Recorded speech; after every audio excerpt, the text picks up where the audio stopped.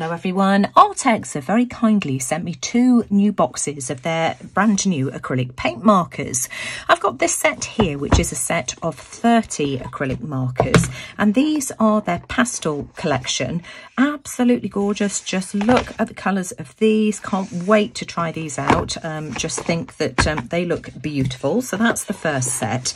I've also got this set of 12 10mm markers as well, so let's take the lid off this. Now these are their chubby markers and as you can see we've got five um, pastel shades, we've got five fluorescent colours and a white and a black. So let's take a look at these. Let's take a look at this set first. Um, which colour shall we start off with? Let's try this beautiful purple. Now this set here is very similar to a Posca paint um, pen in that it's got um, a ball bearing and to activate the pens to start off with you have to press down on the nib in the same way that you would with a Posca paint pen. Um, but let's have a look at the colours. Um, these first five here are um, pastel colours and they are absolutely gorgeous. Just look at the colour of that one there. Um, so that's the purple. Let me just um, just show you what these are like. I have swatched them um, already, but you know, they're just really smooth, not scratchy in any way. And I just think these would be absolutely wonderful if you wanted to colour large areas at a time. Um, you could actually use them on the side if you wanted to do a finer line. Let's have a look at the at the pink.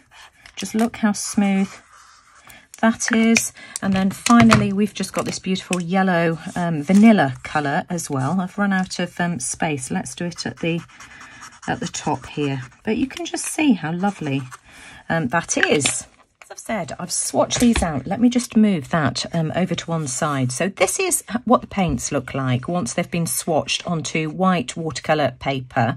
Um, on the left, that's just um, a single um, layer of paint in the same way that um, I've done here. And on the right, I don't know whether you can see, but I've added um, a second coat of paint. So on the left here with the pink one, it's just one layer. And on the right, just two layers of paint. The same with all of these. They do have um, a kind of satin sheen. They're not completely flat matte. I don't know whether if I tilt it um, you can see, but I really like these colours.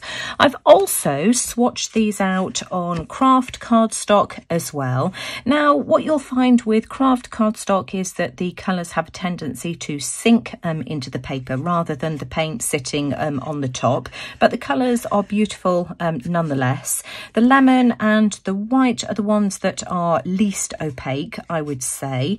And then let me show you what they look like on black. Now, I've experimented with three um, different types of paper this one here is just regular black cardstock and you can see that some of the colours didn't show up very well um, at all.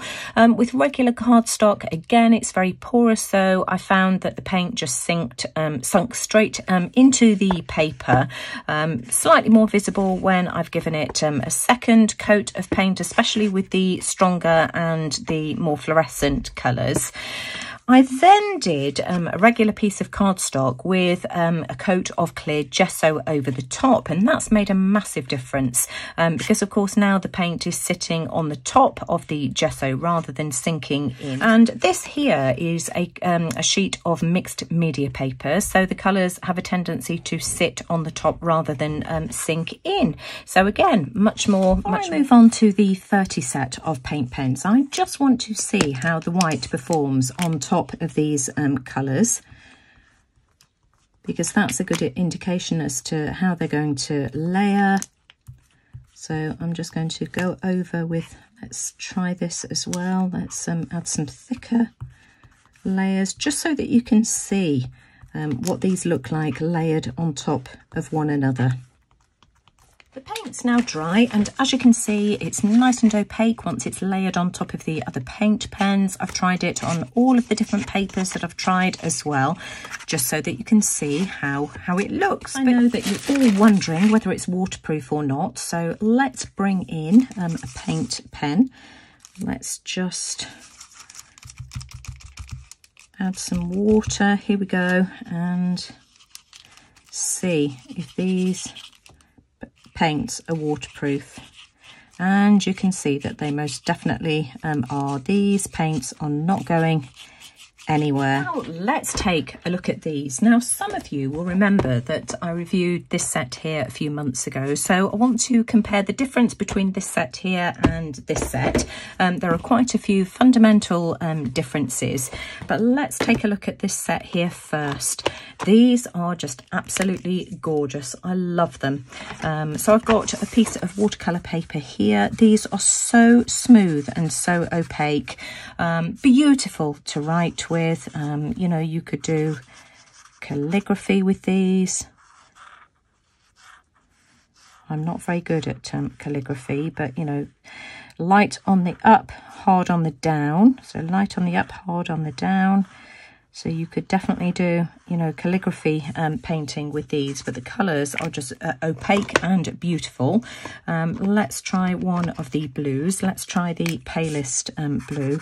Just look how opaque these are. No scratchiness, really smooth, um, beautiful to work with. Now, let me bring in um, this previous set here that I reviewed a few months ago, and I'll tell you what the difference is between these. Let's choose um, two colours that are very similar similar. So we've got these two purples here. Now this one is single-sided. We've got this um, brush nib here, as you can see beautiful paint pen whereas this one here is dual sided you've got a brush on one end and a fine tip on the other but the brush is much finer um, on the old set. Um, if let me just um, hold this in my hand just so that you can see the difference. Can you see the difference in the size um, of the the nibs? Color wise um, they're pretty much the same. I would say that the new one is much more opaque absolutely beautiful. So they've definitely, um, whoops, wrong, wrong lid. They've definitely done some alterations, I would say, um, to these. Um, so beautiful, beautiful um, colours. Um, also, um, that when I reviewed these, I found these to be um, waterproof, quite waterproof. A tiny bit um, of smudging, but nothing major. But I know that some of you had bought these, complained, saying that you didn't find them to be waterproof. Let me just activate my, my paint pen. of course, you know, I did this paint swatch a long time ago, but if I go over this, this. I don't find um, any bleeding of colours um, whatsoever.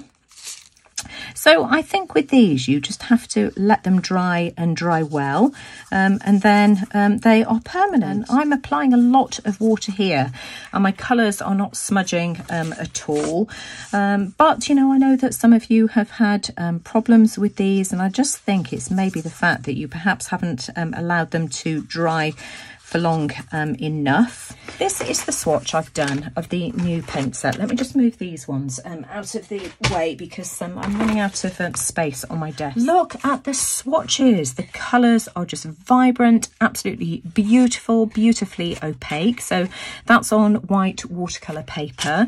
I've also done it on craft cardstock and in comparison to the chubby set, you can see that I think these are much more opaque. This is just one, one layer of paint um, as well well. So for instance, I mean, if we went over this one here, this is the yellow with a with a second coat what would that look like? And you can see that it's um much more opaque. So you know i think these are really versatile and i think that you could have a lot um, of fun with these. Let's try um, on black as well.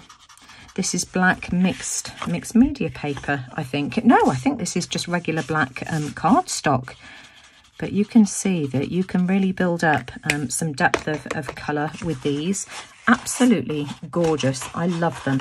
Let's test to see um, how waterproof these these are. I'm not going to do those because, of course, I've only just added um, a second layer of paint. But let me just really squeeze out some water here. You can see the water and just see whether there is any bleeding on these. But I believe these to be totally, totally um, waterproof with no bleeding whatso whatsoever. Let me, you can see, look at the water. I'm squeezing out loads of water here.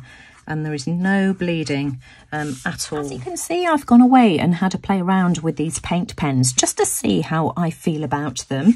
This was the first project um, I created. Um, the background was made using the chubby markers in a lilac and the purple, and I've blended those together. I'll share a video in the next couple of days showing how I made these.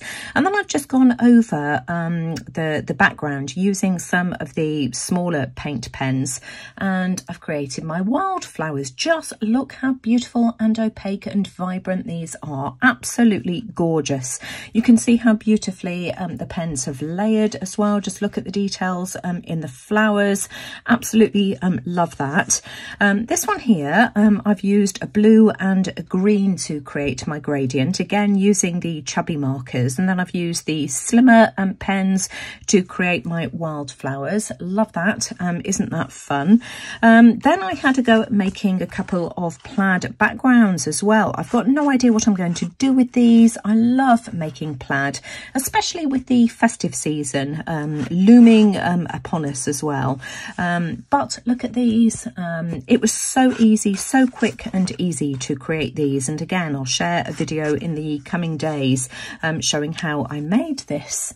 Um, there's another one as well. This one has got more green um, in it, just absolutely beautiful. But I really enjoyed using these these pens. What are my thoughts using these pens? Um, I think they're absolutely beautiful. I love the colours. My only negative would be the white in the chubby set.